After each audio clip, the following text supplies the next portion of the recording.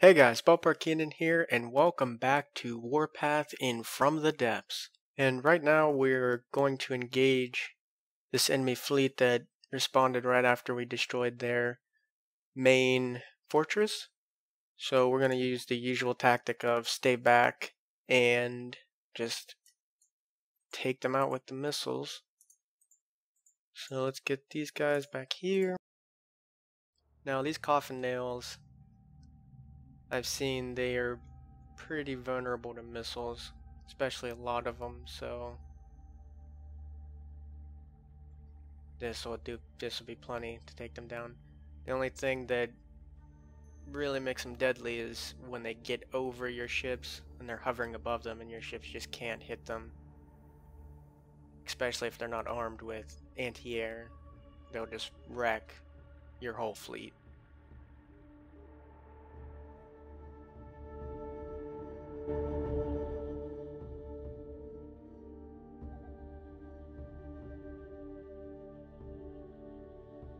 Also, um, as I said in the last episode, we actually have three new ships, and they're each battleships. One, we have a kind of larger, smaller in that range.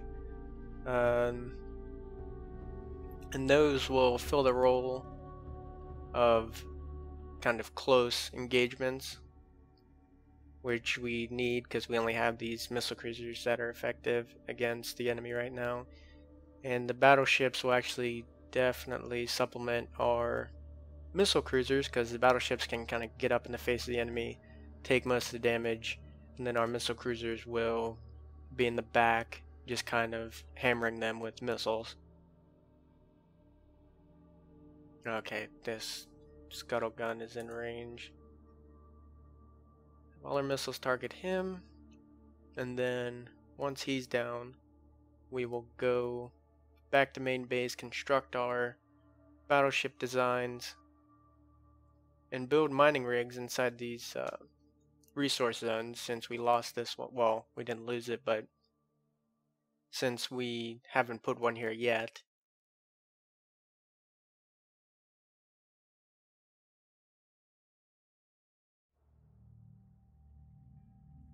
Okay, he's out of action.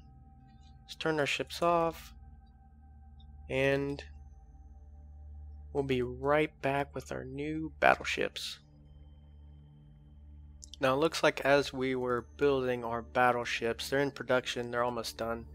Probably like 10, 20 more blocks. Uh, we were actually being attacked by, looks like a damaged, kind of damaged fleet. But we're going to take these guys out, gather resources from them,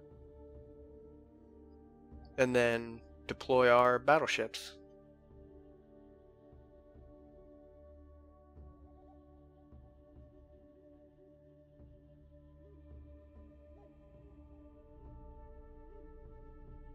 As usual, I'm going to stay out of range of their guns. Because our ships are very vulnerable to well-placed hits and considering they're very lightly armored. I'm gonna have the ships target this paddle gun because if it gets in range it'll just destroy us. Now it does have an anti-missile uh, system right there, lasers. So hopefully we can take that down. And as you can see, even though they can shoot down the missiles, the fragmentation warheads still shoot into their target.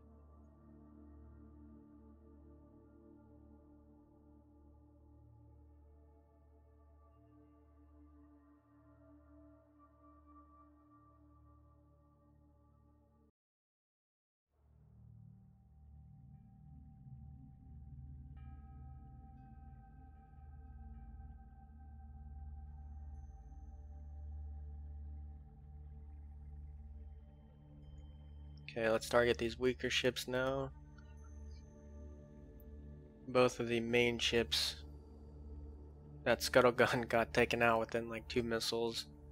And then the paddle gun is mostly disabled, at least with its main gun. Missiles are still active though, so let's actually reacquire that as a target.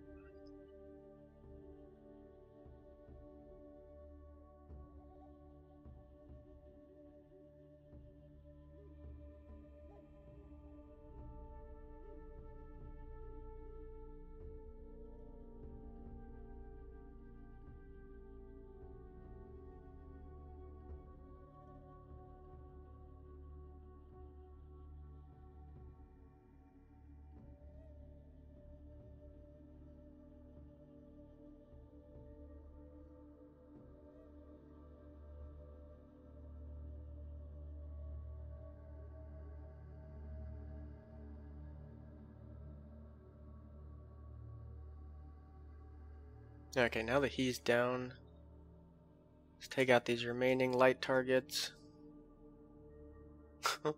he's dead, got a hell of a lot of damage done to him.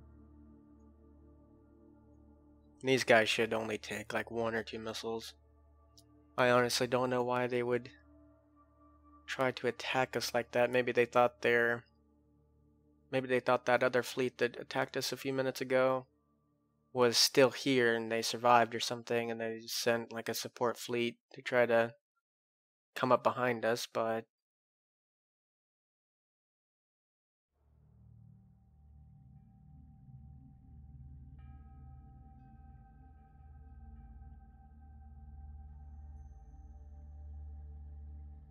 I like that how when you hit the ammo, the uh, turret blows off the top. That's pretty cool. Okay, now let's unveil our new battleships. And here are brand new battleships. Now this one on the right is the C class, which is a little bit larger than the A class over there, but what it has is it has an AA gun, two large long-range cannons in the front, and then two side cannons for engaging targets when it broadsides. These uh, rear cannons can also aim uh, directly in front to assist the uh, main cannon. Now right here we have the E-class, which is the larger of the two, and it has a main gun with five large, long range, I think the range is about two kilometers, uh, guns with advanced, well, composite armor all throughout this ship, so it can definitely take more of a beating than the other two battleships. And the gun also sports this armor. Let me see. Basically, what it is is just an air pocket in between both uh, slant slanted armor pieces. So basically what would happen is when an impact comes in from a explosive shell or a rocket, the outer layer of the armor explodes and the inner, this layer, second layer will won't be damaged at all and it'll allow it to continue the protection of the sensitive components inside. Also, it has a uh, same caliber gun, actually a bit larger caliber gun on the top and on a 360 turret, which allows it to engage targets all the way around it in case an enemy is able to speed past this main gun. Uh, the enemy will be engaged but with this uh, 360 turret on the top. And in the back we have anti-air missiles for air targets that get above the ship to where it won't be able to where its main guns won't be able to engage the target. And lastly we have the A class which is the smaller of the two but a little bit more armed than the C class. It has these two pontoons out to give it increased speed with the extra propellers and to prevent it from tipping over when these guns turn. Each gun is an exact copy of the last with the same caliber and the same rate of fire, although this front gun has a higher elevation than the other two because it's its front weapon and it would need to aim higher for longer ranges. The top gun is mounted on a 360 turret so it can engage any targets around the ship and then the rear is on a 180 degree turret and this ship is very good at broadsiding especially with the pontoons being able to absorb a lot of the damage before it's able to impact its main hull. And actually the A class and C class here, they're built on the exact same hull. And they sport almost the same speed, although the A class has a speed of 7 meters a second and the C class has a speed of around 5 meters a second. And out of both these ships, they were basically designed to support the main E class right here, which is a lot heavily armored and can, can take a lot more of a beating. And on its own, it can stand toe to toe with any Deepwater Guard ship that we've come across and it should be able to do quite a bit of damage to any other enemy ships that we come across in the future. Now with these three ships together, and including the two missile cruisers that we have, this should be a pretty deadly force to reckon with.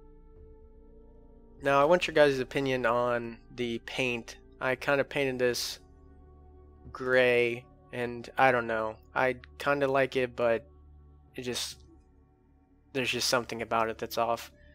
But then I went back to these ones and they kind of look like they don't have anything to them compared to this one, uh, the C class. Okay, now let's set sail with our new fleet and what we're going to do is rendezvous with our two missile cruisers out at the resource zone that we captured and we're going to clean up any remaining Deepwater Guard. And then we actually are going to see which uh, area we want to expand to next, which would dictate which faction we're going to declare war on. Okay, so right now our missile cruisers actually got intercepted by some Deepwater Guard, a small fleet of a sledge and I can't see what that is. But they were on their way to rendezvous with our new battleships.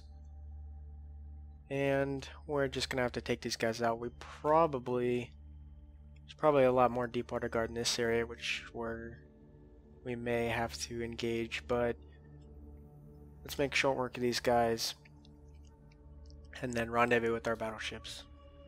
Okay, so that's an urchin. That's what that boat was. This guy's little missile boat. And he's gonna go bye-bye.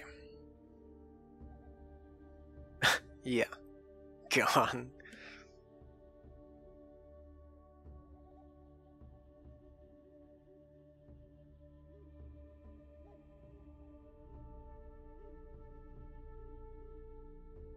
Okay. Let's move to this guy.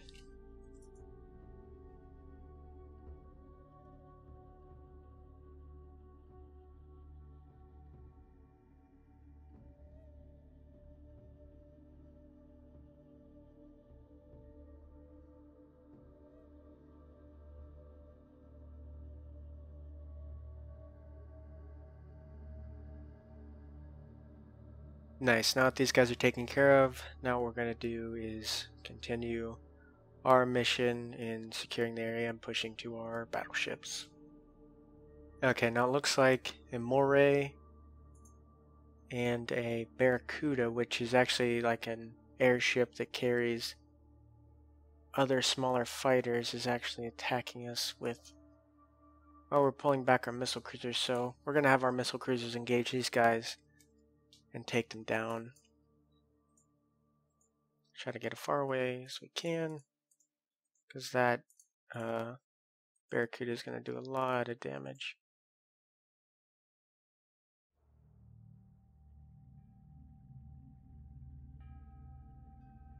Now here I'm probably going to have our ships shoot these guys down first, but I definitely want this Moray dead since it's already hammering us, but this might be lost battle.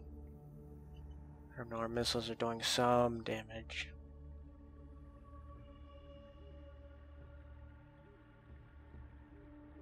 Okay, we might lose both of our ships here.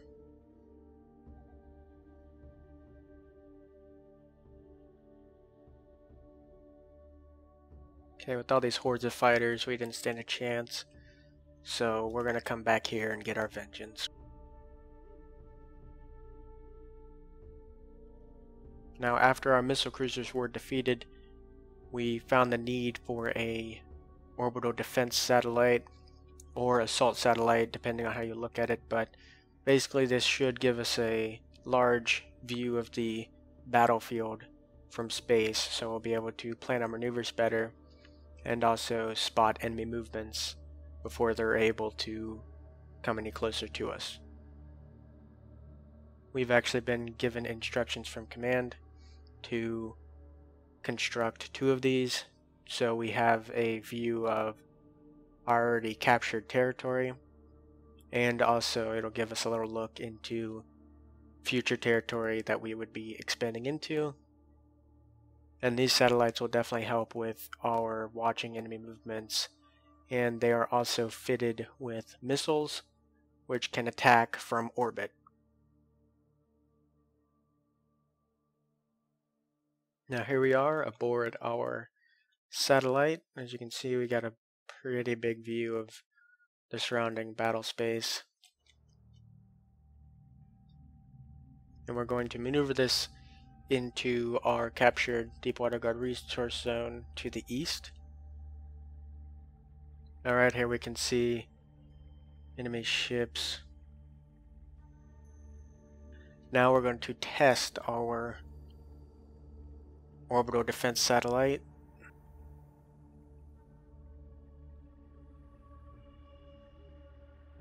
It is fitted with missiles that have a short range but the rocket motor doesn't actually start until they get into atmosphere. I believe it is on a 20 second delay. Now this thing's going to be a pain to try to hit.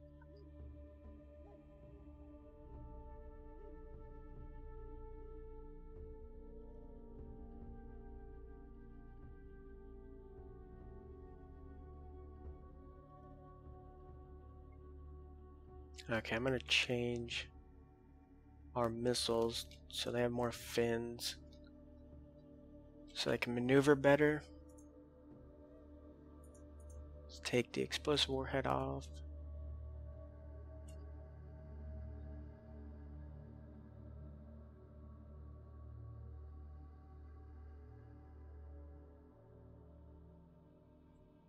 There we go. Much better. Now, what is happening here? I do not know. Okay, there we go.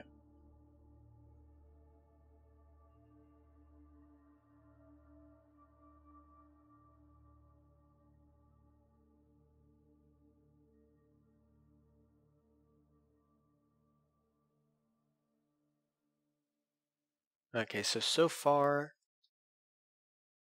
our defense satellite is working pretty well. It's definitely out of range of any enemies and it can just hit them without any being any danger itself so far so we're gonna keep this on our outer territory here and use it to support any fleets that are being overwhelmed. Now we're going to be able to put our battleships to the test and have them engage this pre-quad and coffin nail. This is actually a submarine. I did not know that.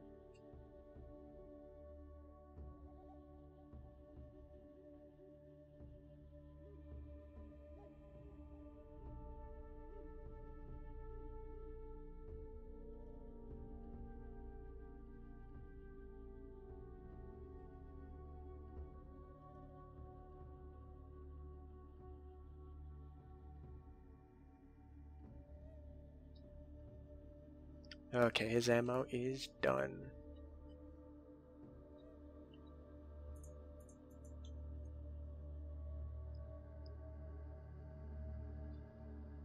Now we are going to continue clearing these guys out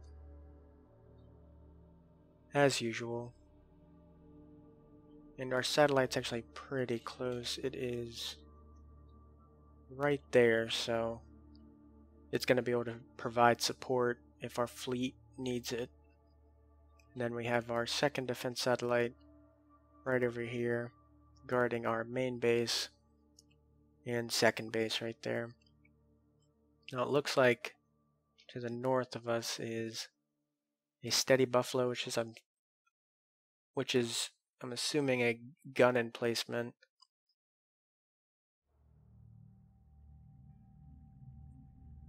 And what looks like a Deepwater Guard command post, which we're going to have to take this out to stop enemy movements in this area. But we're going to continue our push up through here, then we're going to come back around down here and hit them. So, I want to thank you so much for watching, and I hope you'll join me in the next episode of Warpath.